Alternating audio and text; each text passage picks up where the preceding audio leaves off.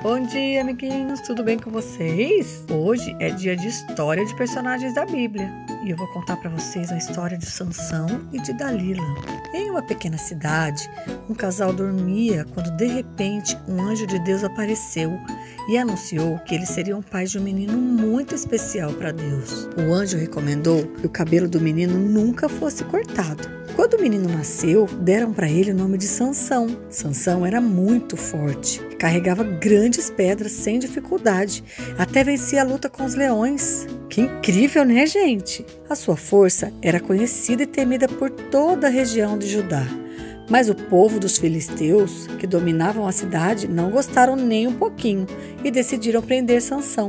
Mas Deus o abençoou e ele conseguiu se libertar. Um dia, Sansão se apaixonou por Dalila, uma moça filisteia. Vendo isso, o chefe dos filisteus pediu para a moça que descobrisse o segredo da força de Sansão, e em troca ela ganharia joias e muito dinheiro.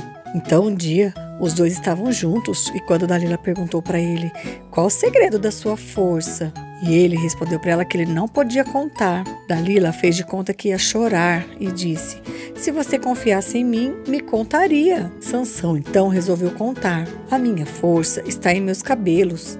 Se cortarem, serei como qualquer outro homem. Mais tarde, enquanto Sansão dormia, Dalila correu até o seu chefe e contou para ele o segredo de Sansão.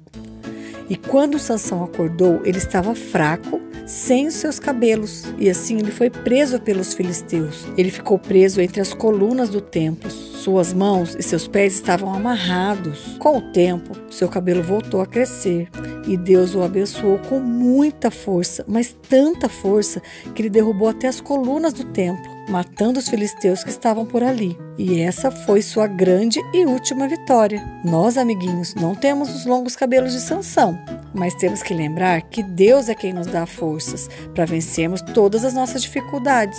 Muito legal a história de Sansão, né? Vocês gostaram? Toda semana vai ter uma história diferente, não percam, tá bom? Fiquem com Deus e até outro dia com mais uma história. Tchau!